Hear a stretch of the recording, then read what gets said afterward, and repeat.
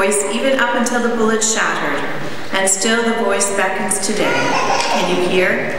Yeah.